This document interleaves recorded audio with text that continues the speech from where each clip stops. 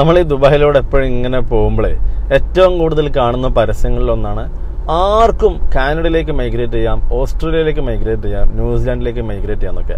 നമ്മൾ നമ്മുടെ നാട്ടിൽ നിന്നൊക്കെ വന്ന് ഈ ദുബായിലെ ഈ ഒരു സ്വപ്ന സമാനമായ നഗരജീവിതം ജീവിതമെല്ലാം കണ്ട് ജീവിക്കുമ്പോൾ പലപ്പോഴും ഈ പരസ്യം കാണുമ്പോൾ നമുക്ക് തോന്നും ശരിയാണല്ലോ. ദുബായ് ഇങ്ങനെയാണെങ്കിൽ കാനഡ എങ്ങനെയായിരിക്കും? ഒന്ന് കുടിയേറാം. അവിടെ പൗരത്വം എല്ലാം കിട്ടാൻ ഭയങ്കര ഈസിയാണ് പി ആർ എല്ലാം കിട്ടും. ഇങ്ങനെയൊക്കെയാണ് പല ഏജൻസികളുടെയും പരസ്യത്തിൽ കാണാം. പക്ഷേ യാഥാർത്ഥ്യം എന്താണെന്ന് വെച്ച് കഴിഞ്ഞാൽ നമ്മൾ ഇതിനങ്ങ് സമീപിച്ചു കഴിഞ്ഞാൽ ഇതൊരു വളരെ കാലം നീണ്ടുനിൽക്കുന്ന ഒരു പ്രോസസ്സാണ് അത്യാവശ്യം നല്ലൊരു പൈസയും വേണം.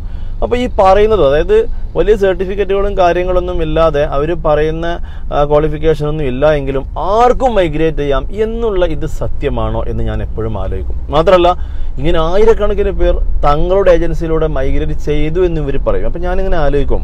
നമ്മളിപ്പോൾ ഗൾഫിലേക്ക് അല്ലെങ്കിൽ ഇപ്പോൾ ദുബൈയൊക്കെ ആലോചിക്കുകയാണെങ്കിൽ ഇവിടേക്ക് ലക്ഷക്കണക്കിന് പേർ മൈഗ്രേറ്റ് ചെയ്തിട്ടുണ്ടെന്ന് ഇപ്പം നമ്മൾ ആരും പറഞ്ഞില്ലെങ്കിലും ലോകത്തുള്ള മുഴുവൻ ആളുകൾക്കും അറിയുന്നത് എങ്ങനെ അറിയോ?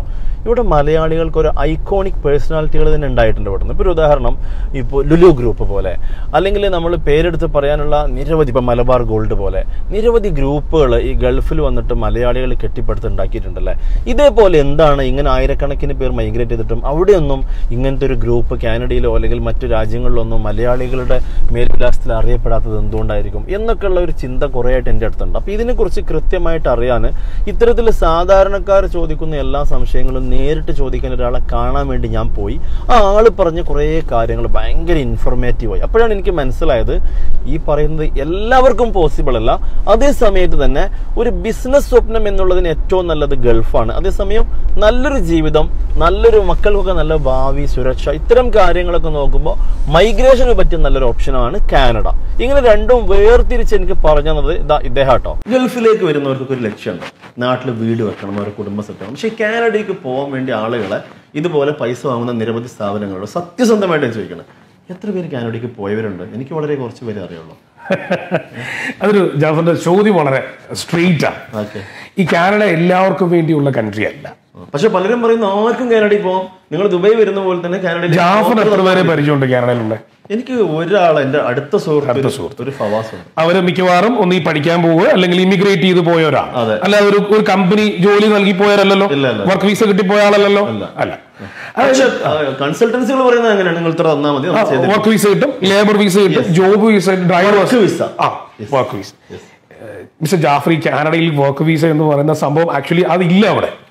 ആ ഗവൺമെന്റ് തന്നെ അങ്ങനെ പ്രൊമോട്ട് ചെയ്യുന്നില്ല അവിടെ. വർക്ക് വിസ എന്ന് പറയുന്ന നമ്മുടെ നാട്ടിലെ work visa labour visa job visa അല്ലെങ്കിൽ നമ്മുടെ ഒരു സഹോദരനുണ്ട് അവർ കൊണ്ടുപോകുന്ന പരിപാടി ഇതൊന്നും അവിടെ ഇല്ല. ദുബായിലെ പോലെ നമ്മൾ അളാപ്പ് ഇവിടെ ഉണ്ടെങ്കിൽ തൊട്ടപ്പുറത്ത് കടയിലേക്ക് കൊണ്ടുവരുന്ന പരിപാടി ഒരു പരിപാടിയില്ല അതായത് ഇപ്പൊ ചില ആൾക്കാർ വിചാരിക്കുമ്പോൾ എന്റെ ബ്രദർ അവിടെ ആണല്ലോ എന്നെ എന്താ അവർ കൊണ്ടാകത്തെ നിനക്ക് മെറിറ്റ് ഉണ്ടെങ്കിൽ നീ തന്നെ പോണം. ഈ മെറിറ്റ് നമുക്ക് എങ്ങനെ ഉണ്ടാക്കാം? മെറിറ്റ് നമ്മുടെ വിദ്യാഭ്യാസം അത് കഴിഞ്ഞിട്ടുള്ള എക്സ്പീരിയൻസ് നമ്മുടെ ഭാഷ ഇംഗ്ലീഷ് ഭാഷ വളരെ ഇമ്പോർട്ടന്റ് ആണ്. അതിന് I L T S exam IELTS എന്ന് പറയും. I E L T S exam ഒരു സെവൻ പ്ലസ് സ്കോർ ചെയ്യാനുള്ള ഇംഗ്ലീഷ് സ്കിൽ ഉണ്ടെങ്കിൽ മാത്രം ഡയറക്റ്റ് ഇമിഗ്രേഷന് ശ്രമിക്കാം. അതിന് പെർമനന്റ് റെസിഡൻസിക്ക് അപ്ലൈ ചെയ്യാം എന്നാണ് ഞാൻ പറഞ്ഞത്. അപ്പൊ ഇതാണ് ഈ മെറിറ്റ് ബേസിസ് മെറിറ്റ് ബേസ്ഡ് ഇനി ഇതല്ലാതെ സ്റ്റുഡന്റ് ആയിട്ട് എങ്ങനെ പോകുന്നു അതും ആളുകൾ ഇപ്പൊ എക്സ്പെഷ്യലി യു എ എന്നുള്ള ആളുകൾ ധാരാളം അങ്ങനെ തന്നെ പോകുന്നുണ്ട്. അതായത് നമുക്കിപ്പോ ഉദാഹരണം പറഞ്ഞാൽ ഇപ്പൊ ജാഫർ വൈഫ് രണ്ടുപേരും ഇവിടെ ഉണ്ട് അപ്പം ജാഫറിന് ആഗ്രഹം ഒന്ന് കാനഡയിലേക്ക് ഒന്ന് മൂവ് ചെയ്യാൻ ആഗ്രഹം ഉണ്ടെങ്കിൽ വൈഫിന് വേണമെന്നുണ്ടെങ്കിൽ എക്സാമ്പിൾ ആണ്. നിങ്ങൾക്ക് രണ്ടുപേർക്ക് ആർക്ക് വേണമെങ്കിൽ ചൂസ് ചെയ്യാം. ഒരാളെ അങ്ങോട്ട് സ്റ്റുഡന്റ് വിസയിൽ അയക്കുന്നു. ഒരു ടു ഇയർ ഏതെങ്കിലും കോഴ്സ് എടുത്താൽ നമുക്കൊരു three year open post study open work permit കിട്ടും.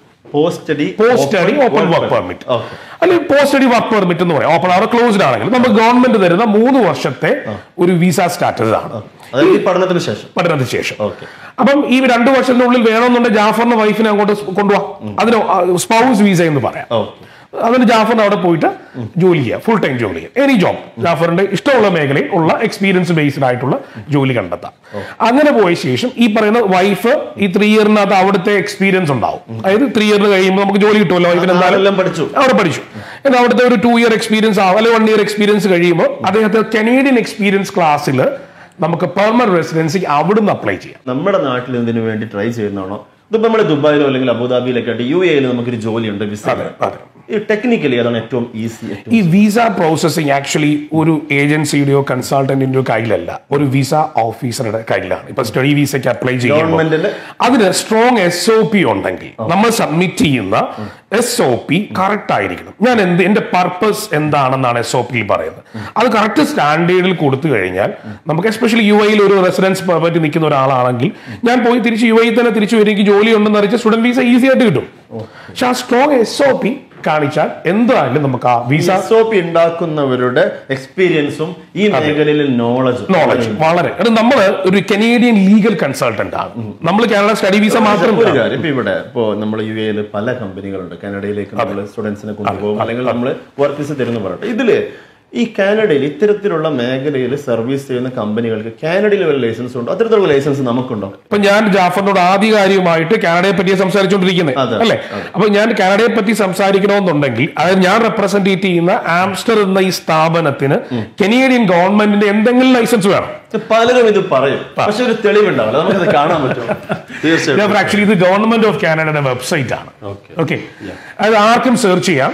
ഒരു C I C C college of immigration and citizenship consultant എന്ന് പറയുന്ന ഈ വെബ്സൈറ്റിൽ കയറുക ഫൈൻഡ് ആൻ ഇമിഗ്രേഷൻ കൺസൾട്ടന്റ് നിങ്ങളുടെ ഇമിഗ്രേഷൻ കൺസൾട്ടന്റ് ആരാണെന്ന് ഈ കമ്പനി ആരാണെന്ന് കണ്ടെത്താം. അപ്പൊ അങ്ങനെ കണ്ടെത്തുമ്പോ വെറുതെ കണ്ടെത്തി പറഞ്ഞിട്ട് കാര്യമില്ല.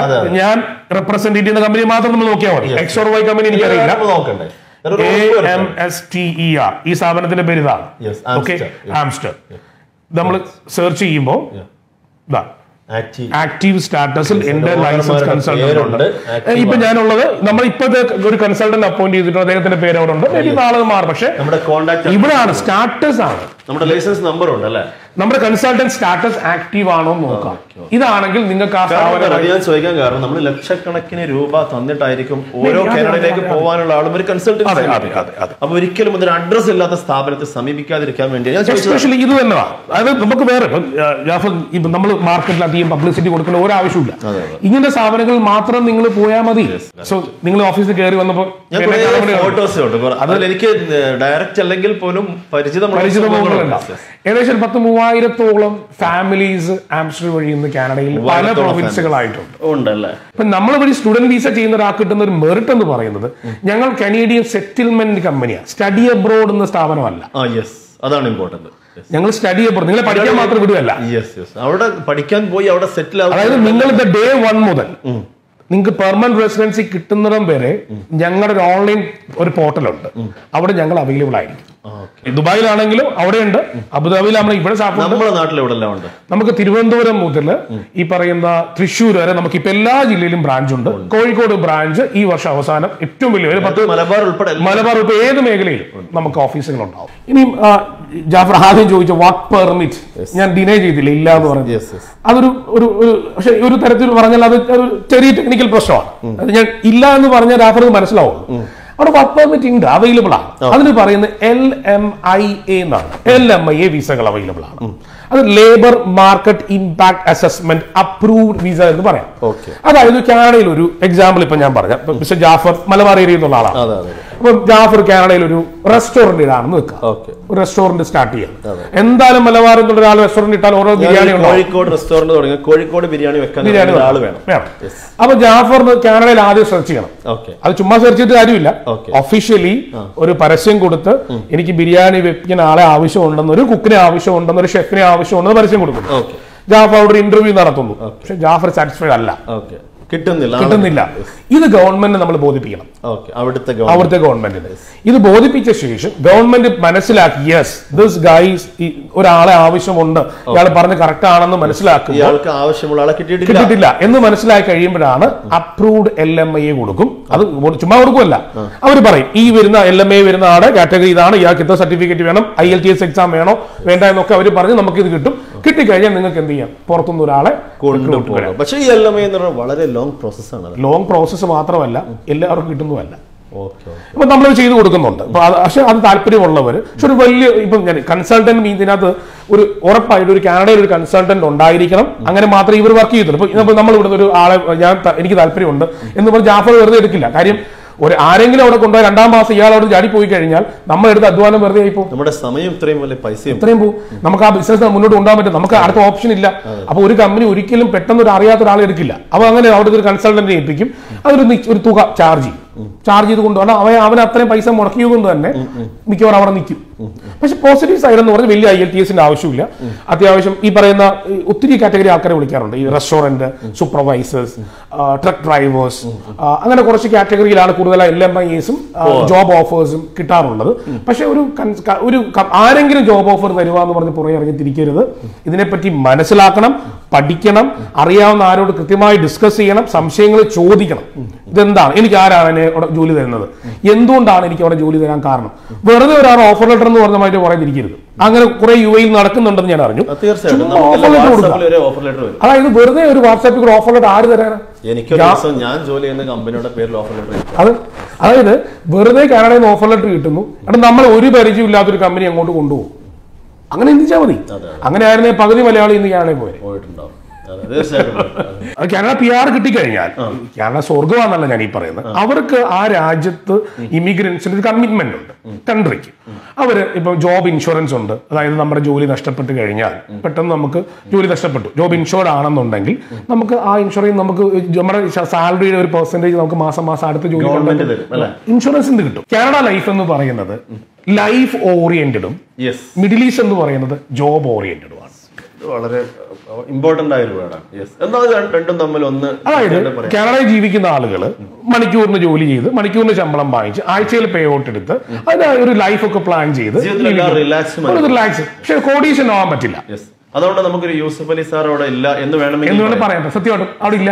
പക്ഷെ അവിടെ ജീവിക്കുന്ന ആളുകളെല്ലാം കുറച്ചും കൂടെ അത് അങ്ങനെ പ്ലാൻ ചെയ്തവർക്ക് കാനഡ പറ്റൂ. യെസ് അത് നമുക്ക് പണം മാത്രം മതി. നാട്ടിൽ പോയി സെറ്റിൽമെന്റ് വേണം വീട് വെക്കണം അതൊക്കെ പ്ലാൻ ചെയ്യുന്നവർക്ക് ജോബ് ഓറിയന്റഡ് മിഡിൽ ഈസ്റ്റ് തന്നെ നല്ലത്. നമ്മുടെ ഈ പ്രൊഫഷണൽസിലേക്ക് അവിടെ ആവശ്യമുണ്ട്. അതുകൊണ്ട് തന്നെയാണ് അവർ ഏകദേശം ഇത്രയും ലക്ഷം ആളുകളെ അവിടെ ഇമിഗ്രൻസിനെ സ്വീകരിക്കുന്നതും നമ്മൾ അത്യാവശ്യം ആളുകൾക്ക് എല്ലാ സൗകര്യം കൊണ്ട് അവരവിടെ ജീവിക്കാനുള്ള കാരണം നമ്മളെ ആവശ്യമുണ്ട് അവർ നമ്മളെപ്പോലെ സോഷ്യൽ മീഡിയയിൽ നടക്കുന്ന ആളുകൾക്ക് കാനഡയിലേക്ക് ആവശ്യമുണ്ടോ? അത് തിരക്കേണ്ടിയിരിക്കുന്നു. ഉണ്ടെങ്കിൽ അറിയിക്കണം. ഇതുപോലെ കുറേ ആളുകൾ അത് കണ്ടുകൊണ്ടിരിക്കുന്നുണ്ടാവും. അപ്പൊ ഈ കനേഡിയൻ കൺസൾട്ടൻസികളെ കുറിച്ചുള്ള പല ആളുകളുടെ സംശയങ്ങളും മറ്റൊക്കെ അറിഞ്ഞിട്ടാണ് വന്നത്. പക്ഷെ വന്നു കഴിഞ്ഞപ്പോൾ കൃത്യമായിട്ട് മനസ്സിലായത് mister Aju K Mathew.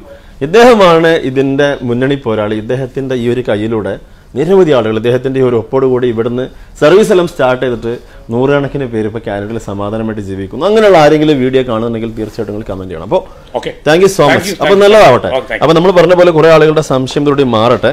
Canada നല്ലൊരു ഓപ്ഷൻ ആണെന്നുള്ള ആളുകൾ തിരിച്ചറിയാം ഈ പറഞ്ഞ കാര്യങ്ങളൊക്കെ മനസ്സിലാക്കിയാൽ നല്ലൊരു ഓപ്ഷൻ അപ്പോൾ bye see you okay okay bye